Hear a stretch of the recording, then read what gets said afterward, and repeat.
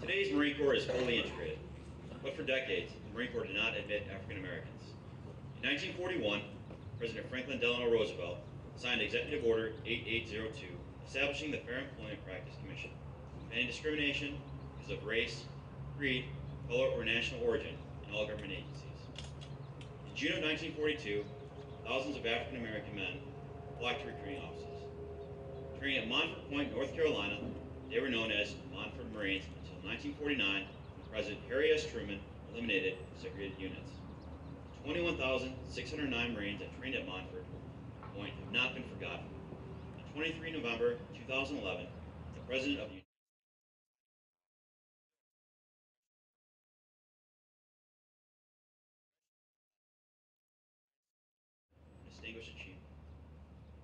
today, with our Montford Point chapter, are Southern California's oldest Montford Point graduates. Master Gunnery Sergeant Retired Oscar Culp, Master Sergeant Retired Edward Marbury, and Master Gunnery Sergeant George Mitchell, both who all enlisted in 1943 and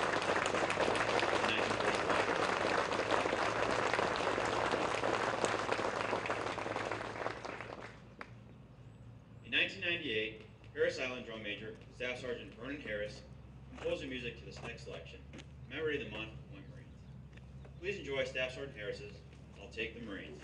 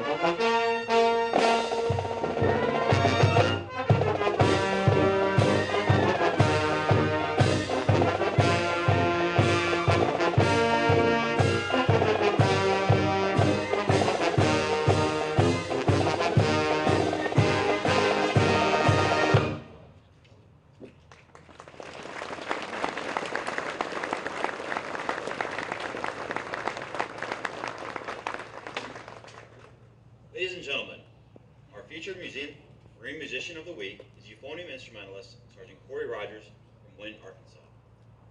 Sergeant Rogers, Sergeant Rogers enlisted in the United States Navy in May of 1999, and after a tour of duty as a nuclear power propulsion operator, Sergeant Rogers enlisted in the Marine Corps for service as a Marine musician.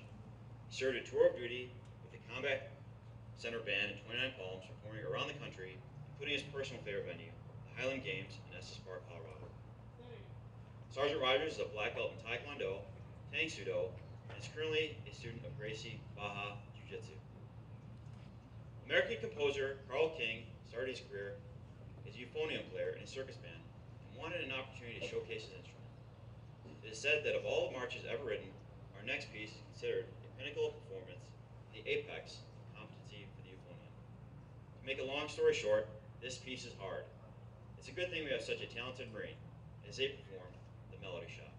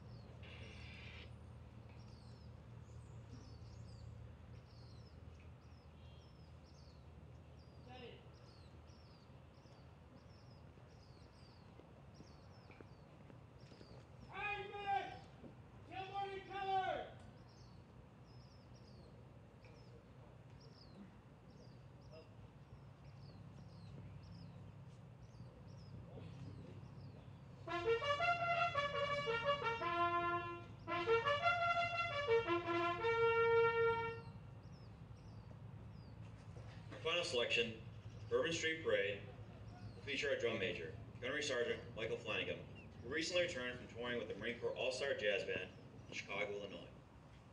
Gunnery Sergeant Flanagan was a by-name request and led the trumpet section of the strategic group. Bourbon Street Parade is one of the most popular tunes played in the French Quarter of New Orleans today. The syncopated drum beats and jovial melodies of this tune capture the essence of the Mardi Gras Festival that play, takes place each year on this famous and sometimes infamous historic street. Please enjoy our rendition of Bourbon Street Parade.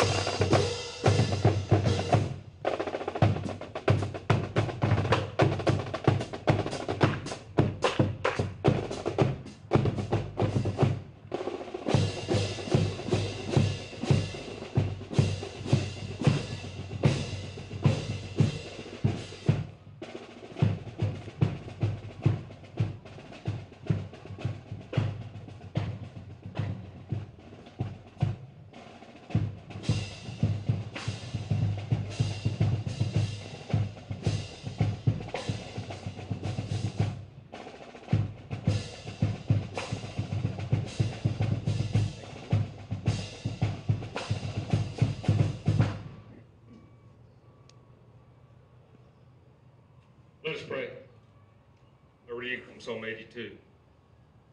God presides in the great assembly. He gives judgment among the gods.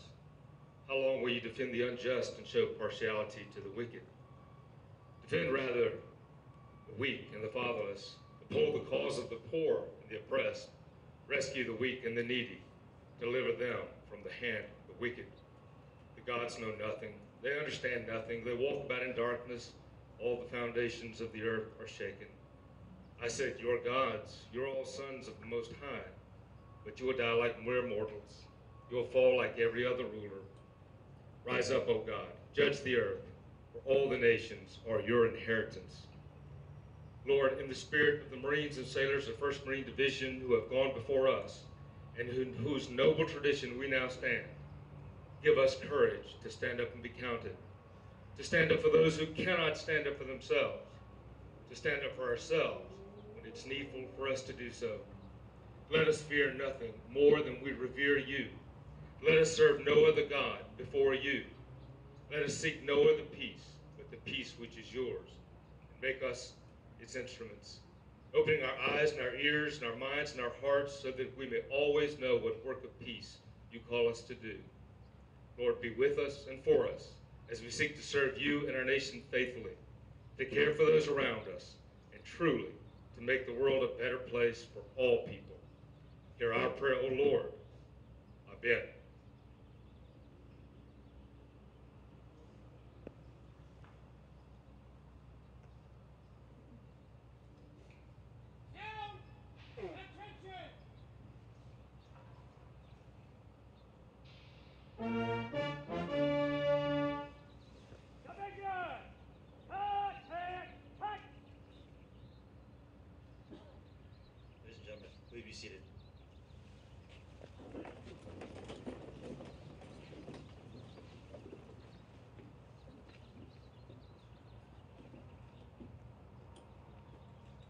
Taking their positions are the Commanding General, 1st Marine Division, Major General Bailey, the Division Sergeant Major, Sergeant Major Kupchak.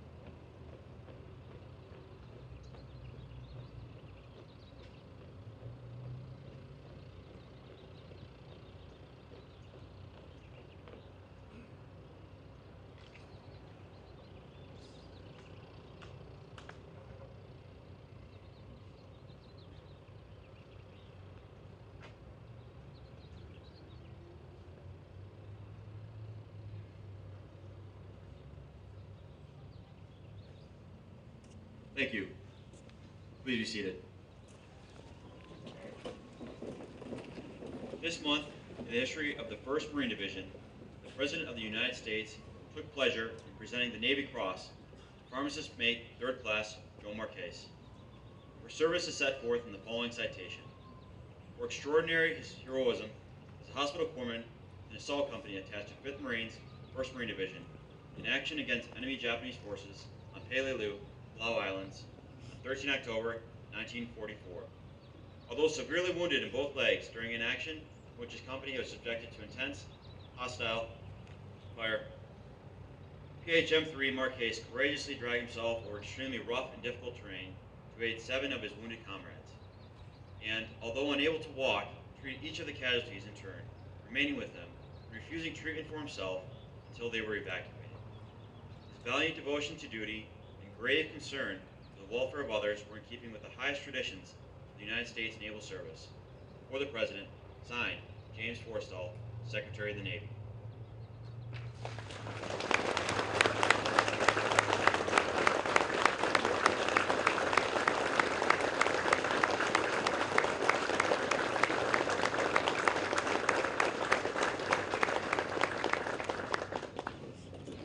More recent history of the Blue Diamond Division, commanding general would also like to recognize Lieutenant Colonel Kevin Shea, who sacrificed his life during Operation Iraqi Freedom. His citation reads as follows For heroic achievement in connection with combat operations against the enemy while serving as a communications officer, Regimental Combat Team 1, 1st Marine Division, 1st Marine Expeditionary Force, from February to September 2004, in support of Operation Iraqi Freedom 2. Major Shea's exceptional leadership and initiative provided a reliable, consistent tactical communications Regimental Combat Team 1, which attributed directly to saving Marines' lives and enabled timely operational reporting, which led to the death or capture of hundreds of insurgents. His leadership and technical expertise orchestrated the engineer, installation, operation, and maintenance of the largest tactical regimental communications network in the history of the Marine Corps. During harrowing military operations in urban terrain, he enabled a commanding officer to command and control the equivalent of eight reinforced infantry battalions, maneuvering in an area of operations greater than 5,000 square miles of the Al Anbar and Babil provinces of Iraq. Personally ensured the commanding officers' command jump posts had continuous communications on redundant systems throughout countless combat engagements. On numerous occasions, when traveling with the commanding officer, his convoy came under direct enemy fire.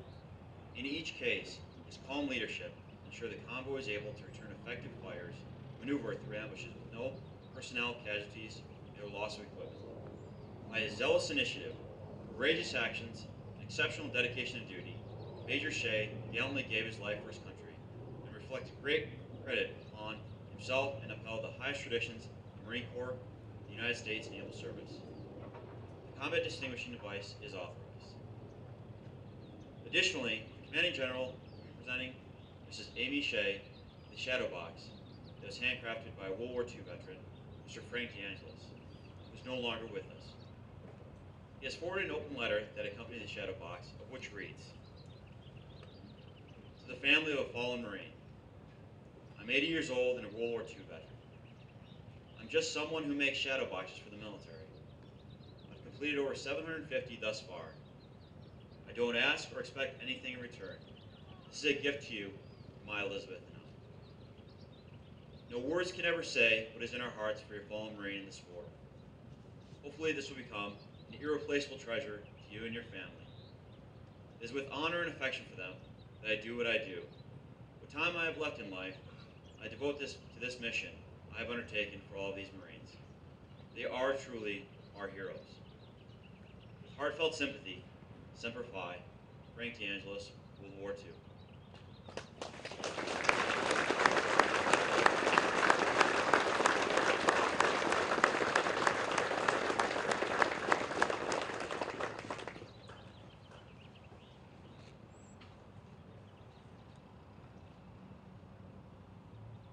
Ladies and gentlemen, please rise for the honors of the Commanding General, 1st Marine Division, Major General Ronald L. Bailey.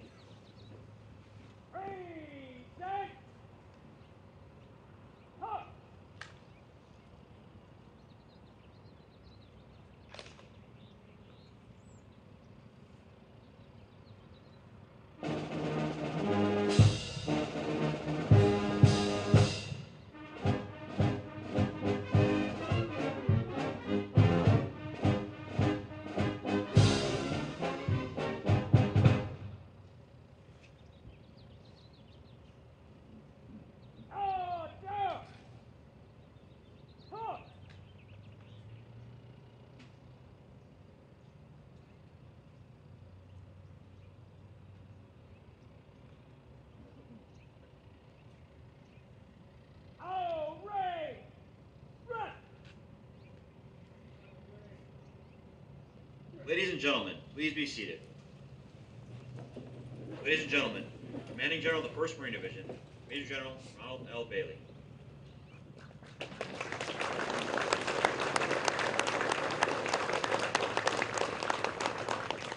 Good morning. Lieutenant General Waldhauser, Lieutenant General Coleman, I saw him here. Fellow general officers, commanding officers, distinguished guests, Marines, sailors, family, and friends. Welcome to the 1st Marine Division. I'd like to take this opportunity to thank each and every one of you for coming out this morning. Nice, warm, sunny California day.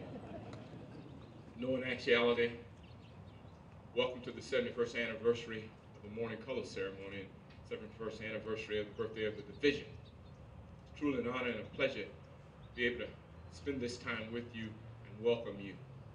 Entwined in the history of our great nation the storied legacy of the United States Marine Corps. Iron will and discipline have earned us a reputation that's second to none. For 71 of those years, the 1st Marine Division has been at the spirit, pushing forward and doing those things that this nation has asked us to do. Today, I want to take an opportunity to recognize a few individuals and organizations. First, I'd like to start with the band. It's been a band, Marine band, 1st Marine Division, since World War II. And ladies and gentlemen, let's give them a round of applause because this band is the only band that has a standing invitation to march in the Tournament of Roses. In addition to that, various ensembles and morning color ceremony, they distinguish themselves. But wherever Marine is a rifleman, they truly represent that. And as you look at the formations in front of you, the Marines that you see in front of you are symbolic the 24,000 plus Marines of the 1st Marine Division. They're all over the world ex exercising the mission of this great country and of this corps. And so I ask uh, that you take a moment to pause and recognize those who are not with us, that are forward deployed in Afghanistan, on the MEUs, all around the world. These Marines are the Marines that are at the tip of the spear and carry on the fine traditions of our Corps and carry on the fine traditions that you've established for us. So let's give these Marines a round of applause.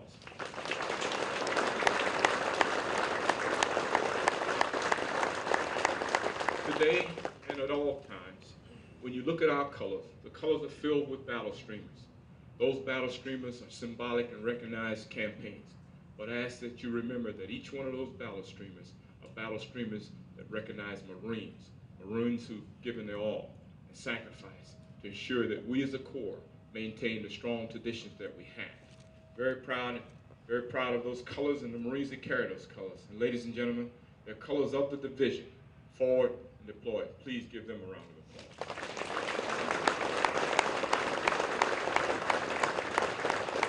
We have a very steep history, a fine history. Many of you seen War Horse. Well, the 1st Marine Division has its own War Horse. And Debbie McCain, would you please stand? If you take a moment and look to the rear, you'll see hoof prints. And it's the history of the 1st Marine Division that Debbie brought to life of Reckless. Reckless was our own war horse. So we thank you very much for bringing that to us. And I know many uh, from the Korean era will, will remember Reckless. So we have our own war horse. He called, we call her Reckless. Thank you very much for that. Let's give her a round of applause.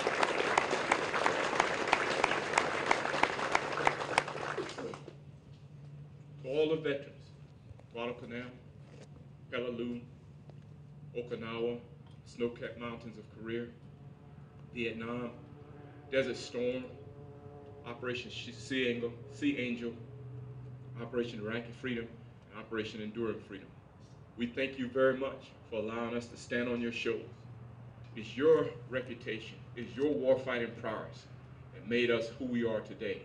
So I thank each and every one of you truly hope that you enjoy your time with us. And thank you very much for making this 71st anniversary very special.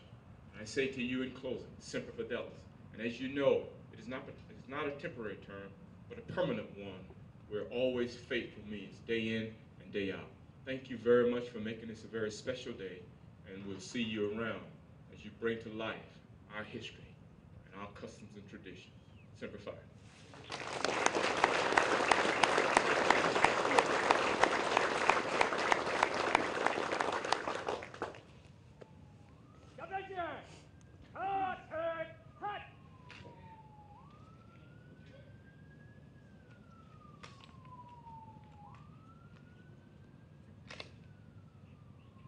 Ladies and gentlemen, please rise for the retiring of the colors.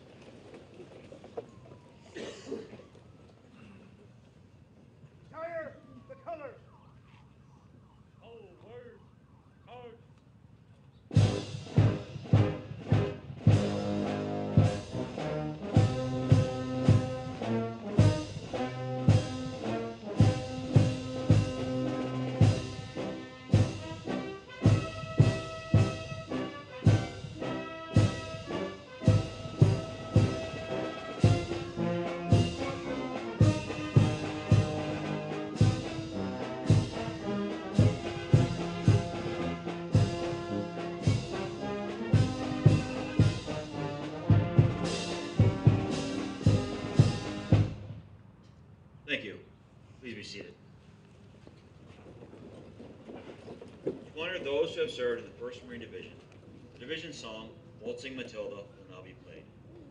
The song originates from Australia, where the division maintained a training base in World War II, prepared for the island campaigns. Over the decades, 1st Division Marines and sailors have marched off to war to this historic tune. We ask that those who served in our division stand to be recognized. We respectfully request all those who remain seated and silent to honor those absent gave the ultimate sacrifice, and those present served with the 1st Marine Division.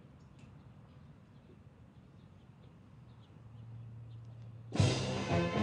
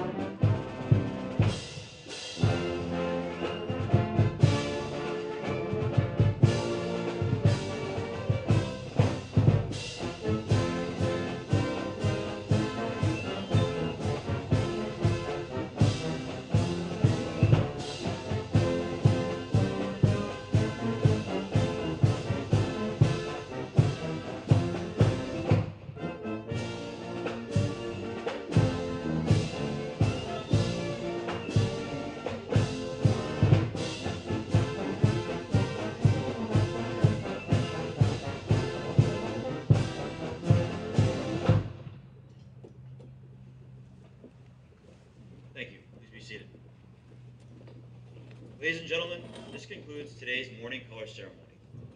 There will be a 1st Marine Division Association photo taken commemorating our division's 71st anniversary immediately following the unveiling and flag dedication located at the memorial wall just in front of the reviewing area of the 11 Area Parade Field located directly across the street. Upon completion of the flag dedication, we will return directly back to your seated area for the photo to be taken. So, on behalf of Commanding General, the Marine and Sailors of 1st Marine Division, thank you for sharing this special event ハハハハ!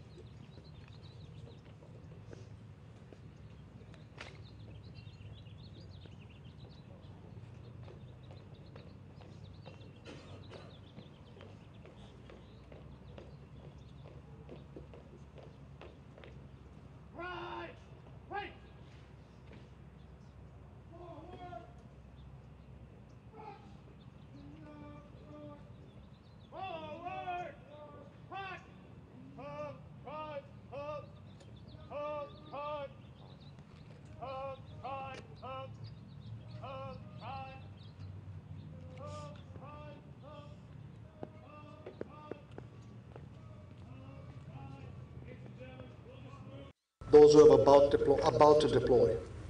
They come from small towns and cities all over this wonderful land. Many are citizens, some are not yet citizens. As we break bread and give thanks, each has a story to tell about why they joined the Marine Corps. I wish you, my fellow citizens, could hear those conversations. Some are soft spoken, some are nervous, some swagger, some boast. I'm an Indian by choice, by birth, but an American and a former Marine by choice. By the time we finish dinner, I'm so damn proud to be an American. I look at them, America's children, flesh of our flesh, bone of our bone, the few, the proud, the Marines. Our 3,400 Rotarians in San Diego and Imperial County come from a wide variety of occupations and communities.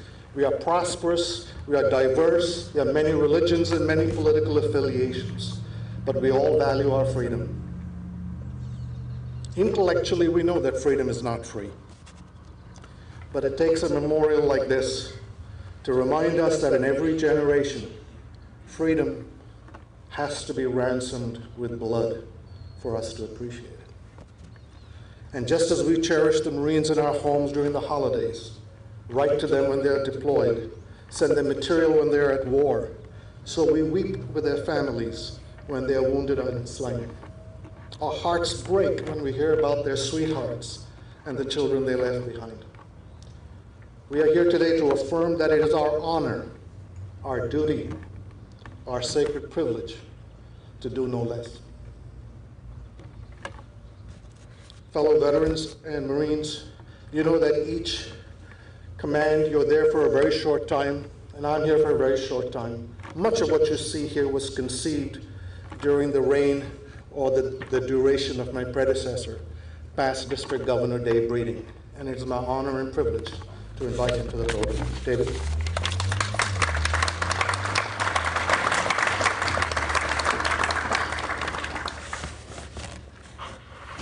Thank you, Larry. It is a great, great honor to be here today and to witness and to take part in the dedication of this truly hallowed place. We are grateful and humbled to be in the presence of men and women who risk their very lives to protect our country and the freedoms that we so enjoy. We are also grateful for the men and women who work together diligently to make this place a reality. There are so many to thank. But I want to take a few minutes just to recognize the contributions of the Rotary clubs and Rotarians who participated financially in the funding of this project. As you may already know, all the funding came from private sources, individuals and organizations. None of it came from government funds. Seven area Rotary clubs participated in the raising of the funding through their fundraisers or contributions of their members, our friends. All seven of these clubs are represented here today, and I'd like to recognize and thank them for their generosity. Together, these clubs gathered $52,500 in cash. All the other Rotary clubs in the San Diego and Imperial County counties uh, co collectively contributed another 12,500 for a total of $65,000. If you're a member of one of these clubs, as I call your club name, I'd like you to stand if you're seated or wave your hand if you're standing and be recognized. The Rotary Club of Vista, last year's president, Tim Aspel. Vista, are you here? The Rotary Club of Escondido Sunrise, uh, last year's president, Peggy Reiber.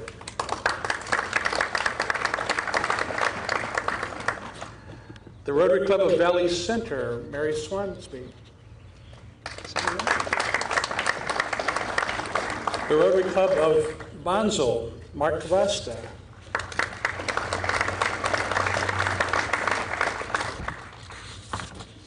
Rotary Club of Carlsbad, Avneet Sidhu.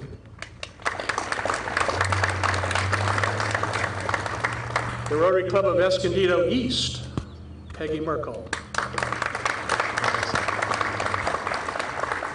That is six of the seven clubs. I want to make some special comments about the seventh club, which is the Rotary Club of Camp Pendleton. Proudly the very first Rotary Club on a military base anywhere in the world. Rotary Club of Camp Pendleton and last year's president, Linda Sundrum, please rise or wave.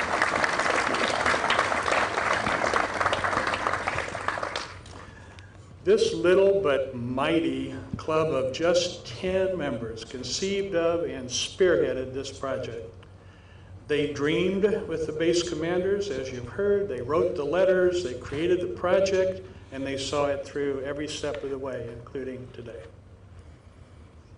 Along the way, they had some creative fundraisers, and through those and the generosity of several, uh, including our good friend Steve Brown, who's in the audience today, I think, and Susan Brown. Together, they raised $31,500, or almost half of the entire money for this project. Many of us remember the Defender Bowl games between the Marines and, and the local police and firefighters. I personally remember being in awe as I stood in the pouring rain one day watching hundreds of people buy tickets at the gate in the rain to see that first game.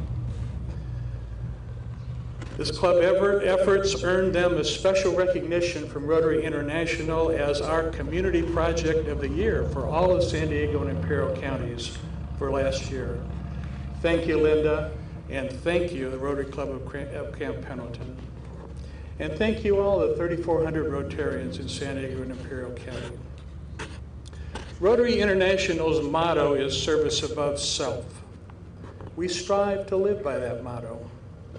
But truly, our service pales in comparison to the ultimate service and sacrifice of those for whom this place is dedicated. We honor them and we salute all the men and women of the United States military for their service way above self every day as they protect our country and the freedoms that we so enjoy. And now I'd like to bring the spark plug of this project back up to this uh, podium, Linda Sunder.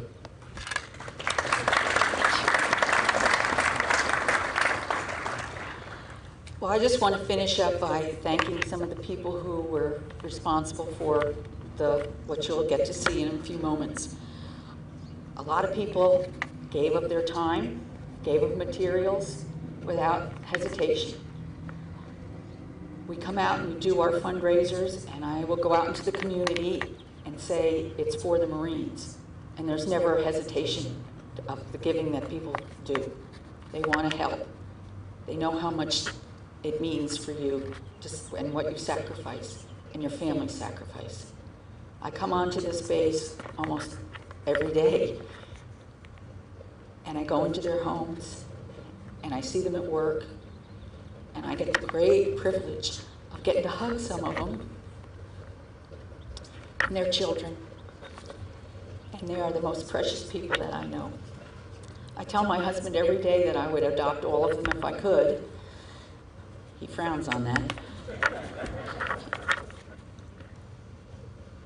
But I can't. I'm, I've tried and tried to remember of a project or an effort that I felt more proud of than I do today. And there isn't one. This is the greatest honor that I've ever had, and I thank Rotary for allowing me to do it. I want to be professional. First, I'd like to thank Kirk Richardson and Scott Cook. They helped us with the lighting.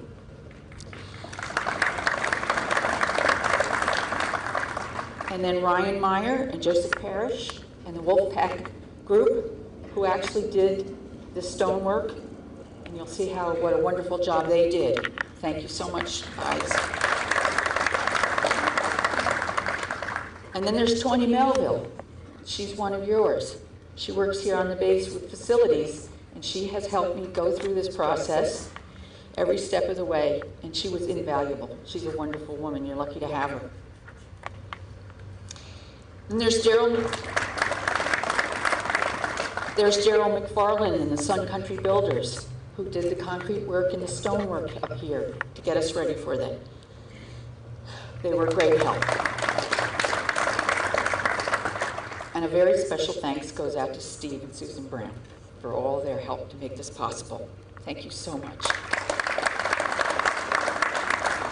And Steve, Field, last but not least, Steve Fielding, who actually did the electrical work, so that if you come by at night, you can see the lighting, that you, so you can come and see a piece of the evening.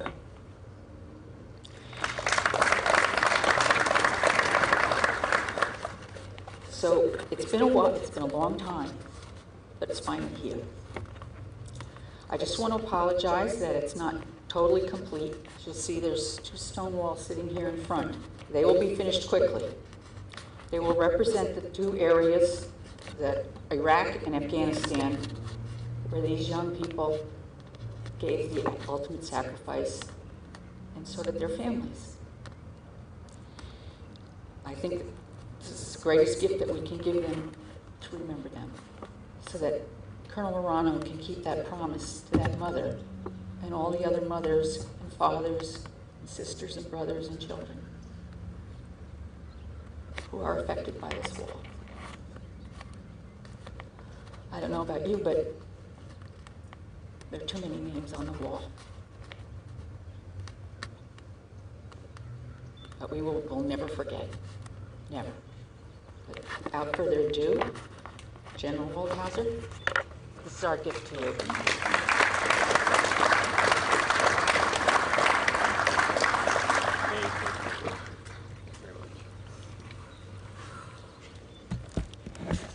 Good morning, everyone. It's glad and I think only appropriate uh, and fitting that the sun here starts to shine as we get close to unveiling the wall uh, behind us.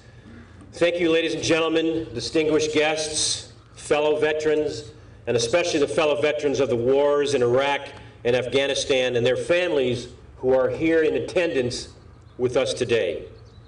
It is a tremendous honor for me to stand before you this morning as we come together to remember our fallen comrades in our 11th year at war and at an important period of our lives and in the history of this nation. I would like to first say a grand thank you to those who are responsible for this memorial, for those who conceived, designed, built, and helped make this wall a reality for us today. Marine Corps Base Camp Pendleton, led by Colonel Nick Morano, worked tirelessly to provide the location, the contracting, and manpower to place this memorial behind us. Linda, Larry, and David and their leadership, and as you've heard this morning, Rotarians from throughout the country rallied together to raise the funds necessary to build and maintain this memorial. And of course, a special thanks to that small but vital Rotary Club of Camp Pendleton for teaming and managing this project from its inception up with the Rotary clubs from throughout San Diego and Imperial County that were mentioned already here this morning. Bonsall, Carlsbad, Valley Center, Escondido, and Vista. Over 3,400 Rotarians strong who were the driving force behind this venture, donating their precious time, money, and effort to make this idea a reality. It is a magnificent reminder of the special relationship we have with our local community and the love and the support that we continue to receive from you. So, on behalf of the 55,000 Marines who serve in the 1st Marine Expeditionary Force, and on behalf of Marines worldwide, I want to thank all of you, and all for, on behalf of all our, of our Marines, for your efforts that we see manifested behind us here this morning. This memorial is another reflection of the honor a grateful nation places on those who have paid the ultimate sacrifice to defend it and preserve the freedom and liberty that we all share. It is not intended to provide closure to the families and friends of the men and women on this wall, nor should it. For the memory and legacy of the heroes on this wall will always remain alive in their hearts.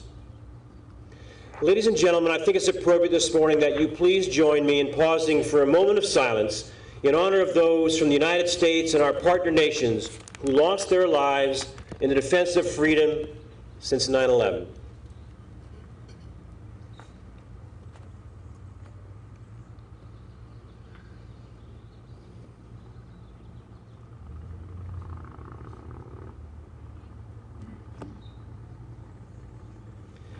One point six million service members have deployed to fight the wars in Iraq and Afghanistan since our nation was attacked on 9 11. All of the soldiers, sailors, airmen, and Marines have been volunteers. Citizens of our great nation, they left their families behind, knowing full well that serving their country could come at the expense of their lives. They deployed to places they had never been to, perhaps had never heard of, to defeat a determined enemy and to liberate and protect a people they had never met.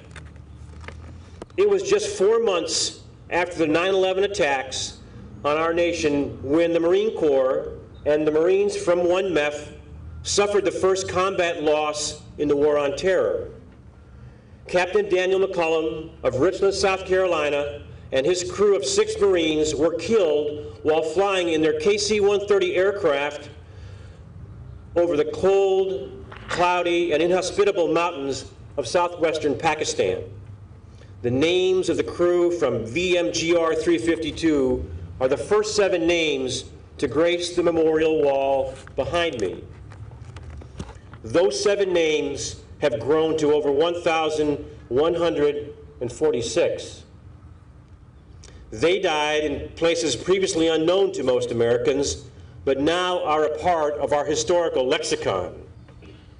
In Iraq, places like Al Anbar Province, Ramadi, Fallujah, and Nasiriyah. In Afghanistan, places where Marines continue to fight today, Helmand Province, Marja, Kajaki, and Sangin. These are just a handful of the many places that have been touched with the blood of our fallen heroes. To the Iraq and Afghanistan veterans here today, and to all of those whose name appear on this wall, you are all heroes, and we thank you for your service. You decided that when darkness threatened, you would carry the torch of liberty and spread the flame to any clime and place, and you will never be forgotten. Sadly, there is space on this wall to add new names.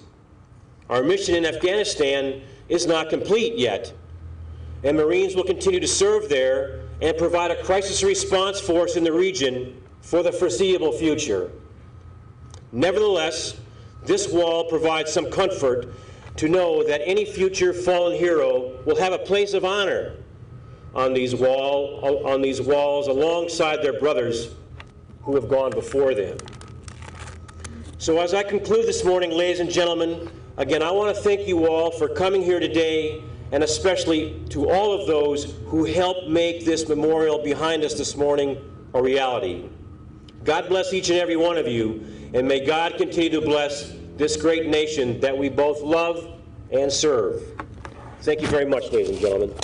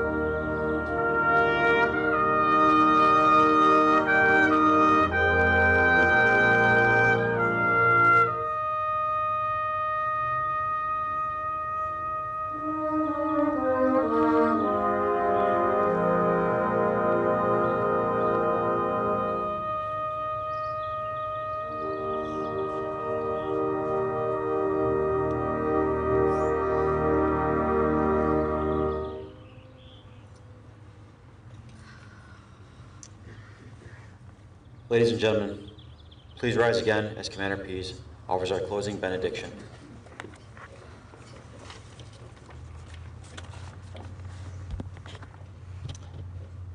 Let us pray. Gracious God, we give you thanks this day for all who hear the call, step out of the safety of the crowd, and make the commitment to serve in the United States Naval Services for the sacrifices they made, for the hardships they endure, for the families they represent. Lord, we're especially grateful for the Marines and sailors whose names are etched upon this wall.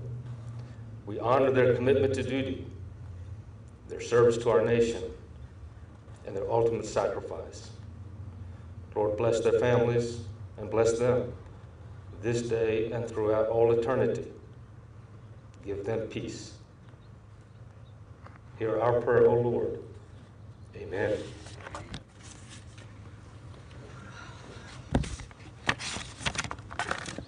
Ladies and gentlemen, this concludes our wall, memorial wall plaque dedication. On behalf of Lieutenant General Waldhauser and the Marine and sailors of 1st Marine Expeditionary Force, thank you for your attendance.